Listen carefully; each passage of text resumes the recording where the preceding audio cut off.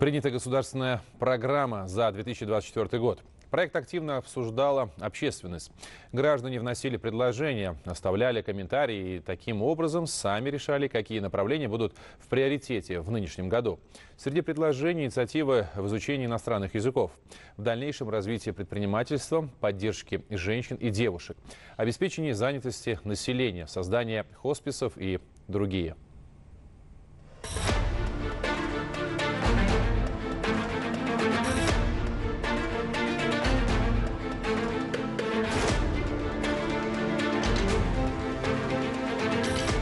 Процесс создания и притворения в жизнь программ и планов действий мероприятий, связанных в пространстве по исполнителям и во времени по срокам, нацеленных на выполнение стратегических задач. Такое определение словосочетанию «стратегическое планирование» выдает Всемирная сеть. Стратегия позволяет сбалансированно и не отходя от приоритетных направлений решать вопросы развития в масштабах государства и мобилизовать все силы и средства на достижение целей определяющего значения. Программный документ, вобравший в себя пять ключевых направлений, и 100 целей и задач был выставлен на широкое обсуждение общественности с 1 по 15 февраля этого года. В рамках этого процесса, дабы привлечь как можно больше граждан, 34 миллионам пользователей мобильной связи было отправлено 566 миллионов смс-сообщений. На сайтах размещены около 2000 информационных и аналитических статей. Таким образом, свыше 4 миллионов узбекистанцев ознакомились с проектом и поступило более 30 тысяч предложений, рекомендаций и видений предложений по совершенствованию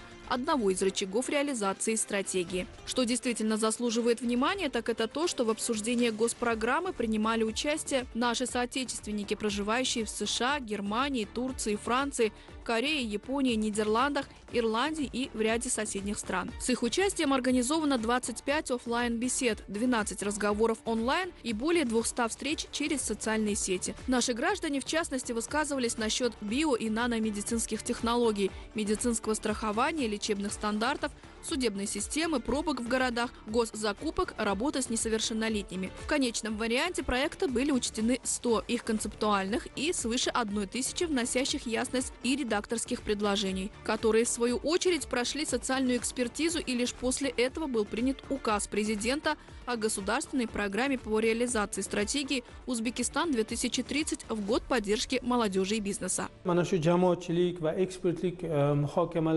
Согласно результатам общественного и экспертного обсуждения, почти 100 концептуальных предложений от населения нашли свое отражение в принятой государственной программе. Необходимо отметить, что учтены более одной тысячи предложений, которые могут усовершенствовать данный документ. Специфика поступивших предложений обширна. К примеру, это развитие био- и нанотехнологий, вопросы медицинского страхования, судебной системы, предотвращение заторов на дорогах. Наряду с внедрением современных технологий в повседневную жизнь населением озвучено немало рекомендаций по рациональному использованию природных ресурсов, а также приборов, конвертирующих солнечные лучи в электроэнергию. Что же касается образования, либо обеспечения питьевой водой жилых массивов, то здесь также население продемонстрировало большую активность, которую мы можем видеть по итогам обсуждения. Итак, в соответствии с указом главы государства с 1 марта этого года за руководителями министерств, ведомств, органов исполнительной власти на местах, предприятий и организаций с государственным участием вузов закрепляются талантливые и одаренные молодые люди, а также нуждающиеся в индивидуальном подходе представители нового поколения на основе баланса молодежи. Главы вышеуказанных структур должны как минимум раз в месяц встречаться со своим молодым контингентом и оказывать всестороннее содействие в решении их проблем, повышении правосознания и культуры. На движение «Юксалеш» указом а, возлагается две важнейших задачи. Первое – это широкое информирование а, всех изменений, реформ, которые предусмотрены в государственной программе. И второе – это общественный мониторинг. А, если раньше Юксалеш больше принимал участие или помогал государственным органам проводить мониторинг, системный мониторинг реализации государственной программы, то начиная с этого года, это предусмотрено в указе, движение Юксалеш будет непосредственно заниматься изучением общественного мнения, критического анализа государственной программы и региональных программ. То есть основная здесь задача заключается в том, насколько люди довольны результатами проводимых реформ. Продолжение вектора молодежной политики в рамках Олимпиады пяти инициатив с 1 марта 2024 года будут организованы на самом высоком уровне в системе Махали, образовательных учреждений, предприятий и организаций конкурсы на знание иностранных языков – и брат Фарзантлара. Соревнования по киберспорту, а также интеллектуальные игры «Заковат» с призовым фондом 600 миллионов суммов. Те же, кто победит в профессиональном конкурсе за счет средств фонда молодежной тетради, будут обеспечены полностью оборудованными мастерскими. Очень важно сформировать у нового поколения нового Узбекистана бережное отношение к окружающей среде, к природе.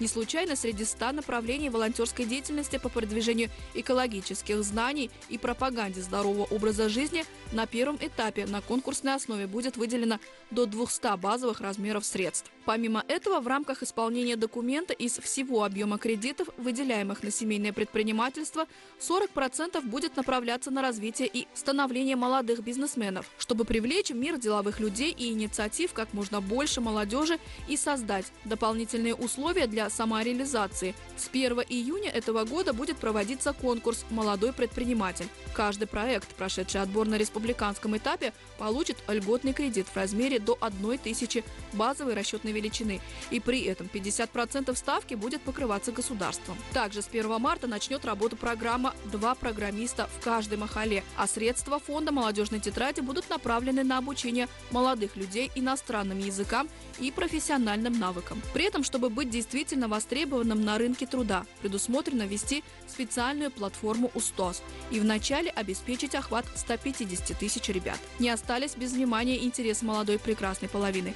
Для них будет запущена платформа «Академия девушек» с целью обучения девушек предпринимательству, основам маркетинга, графического дизайна.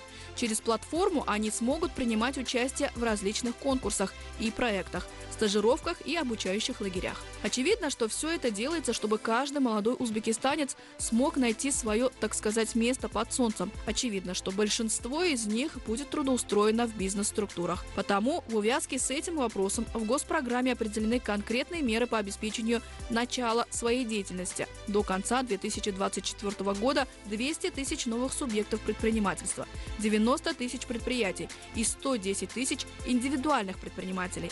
Меры поддержки позволят обеспечить занятость 5 миллионов человек. 2024 yil 1 iyuldan boshlab С 1 июля этого года предприятия, начавшие выпускать продукцию под маркой известных международных брендов, могут рассчитывать на покрытие расходов на экологическую сертификацию. Необходимое сырье для производства освобождается от таможенной пошлины с условием соответствия доли добавленной стоимости в стране равной 60%. Помимо этого, посредством устойчивого экономического роста будет обеспечено повышение благосостояния народа.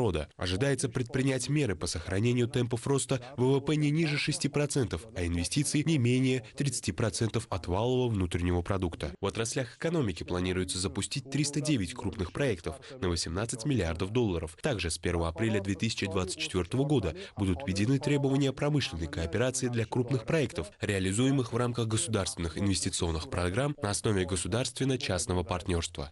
Перечень мотивационных инструментов можно продолжить. К примеру, с 1 мая этого года обязательные платежи и сборы для граждан и субъектов предпринимательства назначаются только на основании закона. Указом лидера Узбекистана утверждены целевые показатели в разрезе направлений перечней разрабатываемых проектов нормативно-правовых документов. Руководитель страны не раз подчеркивал необходимость организации более тщательных профилактических мероприятий, чтобы не бороться с последствиями заболеваний, а предотвращать их развитие на ранней стадии. В 2024 году запланировано проведение медицинского осмотра 6 миллионов 700 тысяч человек на предмет болезней сердечно-сосудистой системы, сахарного диабета, хронических обструктивных заболеваний легких. Отдельным блоком идет социальная защита населения, в которой э, система здравоохранения имеет около 10 поставленных перед ней задач.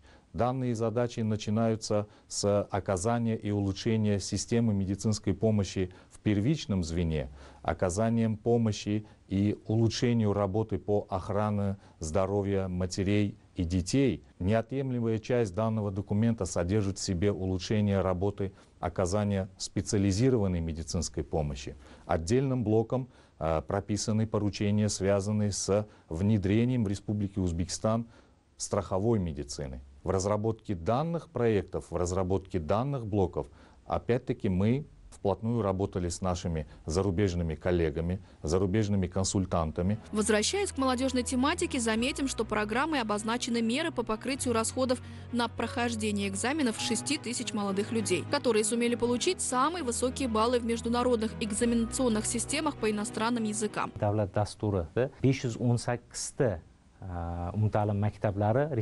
qilinishi В государственной программе прописан пункт, согласно которому 518 общеобразовательных школ будут реконструированы, а также возведены дополнительно 30 школ. Помимо этого будет внедрена практика отбора директоров, имеющих соответствующий сертификат. 100 педагогов в этом году будут отправлены в зарубежные страны на повышение квалификации. Также поставлена задача касательно доведения негосударственных школьных учреждений до 470. В качестве эксперимента в нынешнем году будут организованы автобусные маршруты для учащихся отдаленных районов Кашкадаринской и Сурхандаринской областей. В рамках проекта «Менинг Мактабам» каждой школе будут выделены средства в размере 150 базовых расчетных величин. До конца этого года в областных центрах, городах, Ташкенте и Нукусе предусмотрено создание как минимум одного хосписа по оказанию паллиативной помощи больным с гематологией, онкологией и иммунологией. Поставлены задачи по доведению роста ВВП минимум до 6%, обеспечению объемов инвестиций в размере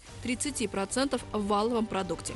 Предстоит реализовать 309 крупных проектов на 18 миллиардов долларов, принять все меры по снижению уровня инфляции до 9% и направлению в экономику 275 триллионов кредитных ресурсов по снижению ставок на 2-3 позиции. Экологическая обстановка в мире и в частности в нашем регионе заставляет задуматься каждого.